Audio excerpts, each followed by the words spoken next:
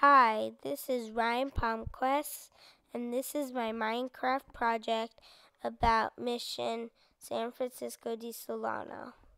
My report is on the San Francisco de Solano mission, and it is located in Sonoma.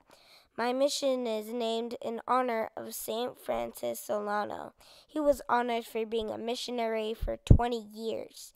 It was the 21st and last mission to be built in the mission chain. The San Francisco de Solano mission was built in July of 1823 and was founded by Padre Jose Altimira. Some people had nicknamed it Sonoma Mission. It was secularized in 1834 and was operating until 1881. In the spring of 1833, there was a bad rainstorm that caused damages to the new mission, and that that was being built there. It was built in Sonoma because Padre Altimira wanted to build a new mission to replace Mission San Francisco de Asís. He didn't like the conditions of the mission of Mission San Francisco de Asís. In 1825, the Padres planted the first vineyard in Sonoma Valley to be used for the Sacramento wine.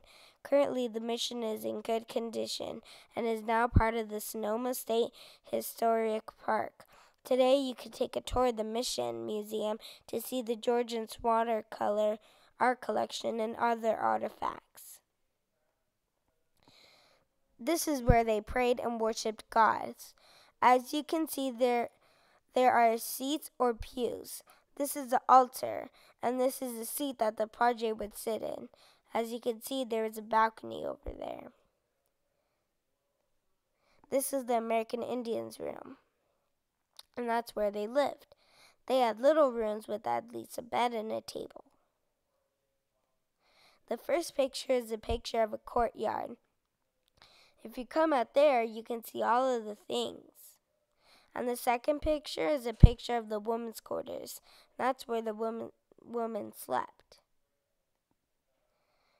The first picture is a picture of the workshops. The workshops are like the blacksmiths and those things. And the second picture is a picture of the graveyard. And that's where the people were buried. The first picture is a picture of the fountain. There was always water leading to the missions. And the second picture is a picture of the bell. They would ring the bell when it was time for church or or a meal or to get the attention of the Indians to give them their work orders. Would you like to have to take an order when they ring a bell?